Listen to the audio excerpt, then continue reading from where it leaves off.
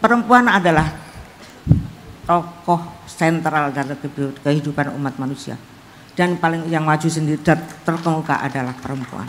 Pada kesempatan ini saya ingin mengajak kepada semuanya, marilah kita hargai dan kita lindungi perempuan. Karena bukan karena kita hadir di muka bumi ini melalui mereka, tetapi mereka adalah malaikat-malaikat yang nyata.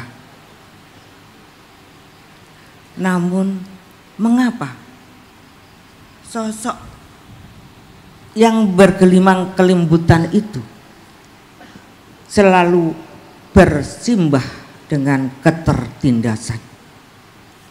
Itulah yang kalian panggil perempuan.